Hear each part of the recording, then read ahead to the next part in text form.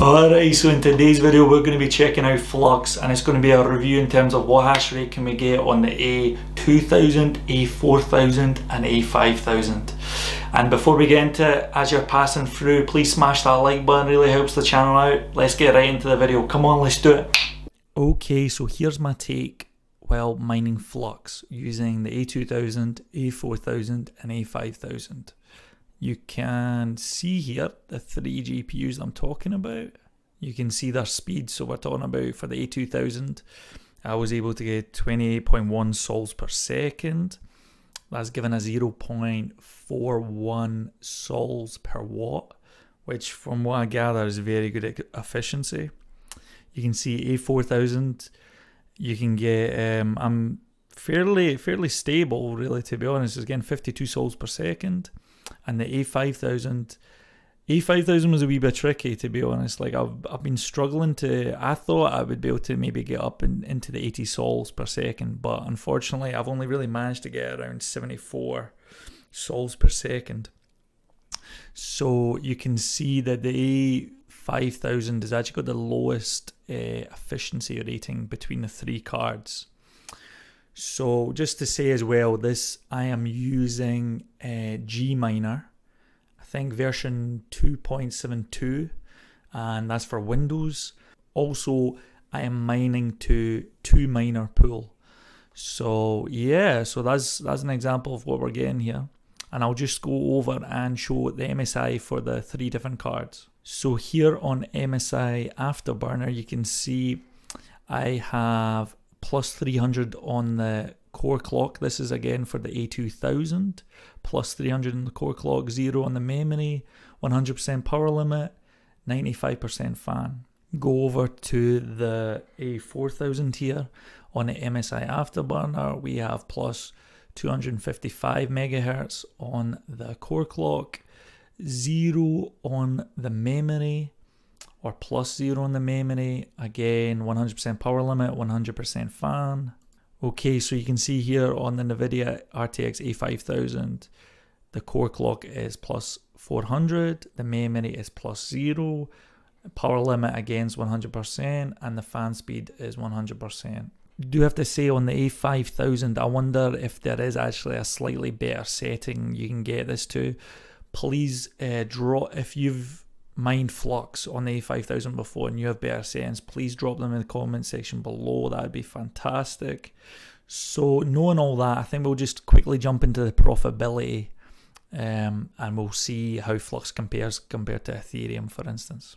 Okay, let's go and see that. This is just a quick comparison of ETH, mining ETH right now, which is November 2021, and it's a straight comparison of the A2000 while mining ETH against mining flux.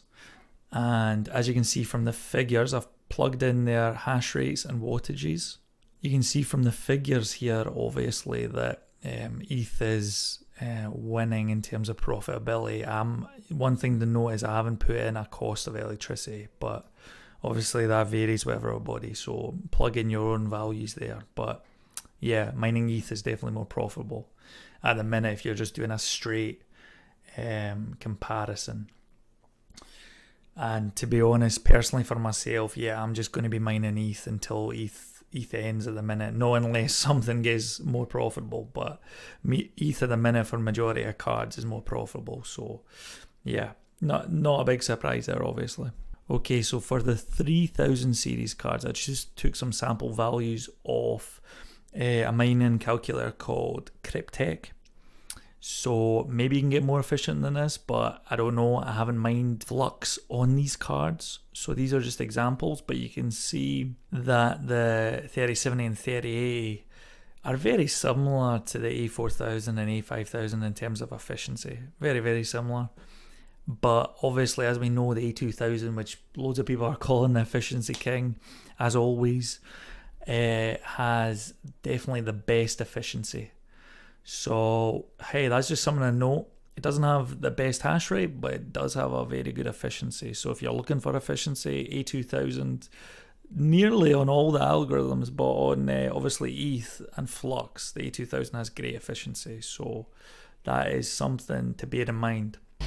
Okay, so that's all from today's video and as you can see the A2000 again absolutely kills it in terms of efficiency uh, on mining flux. The other two cards, the A4000, A5000, they're pretty comparable compared to, you know, the, the 3070 and the 3080. They're very similar, you know, you can give or take it depending on uh, some of your slight alterations and settings and also the variation some of the models and makes a card, so hey, whatever. But um, would recommend this for mining flux? To be honest, the A2000 I would say obviously because it's very good efficiency I would recommend and also if you can get an MSRP obviously it's great. Um, but personally myself with all these A1000 series cards I'm just going to be mining straight Ethereum at the minute. As you can see the profitability uh, on these cards while mining Ethereum is greater than the values you can get while mining Flux but hey, it's a good alternative, and also you never know what will happen to the, the Flux network. Maybe the profitability will become more, who knows? But yeah, it's a it's a good option. It's a good option. So I just want to say, while you while you go through here, please, if you haven't already, smash that like button. Also consider subscribing.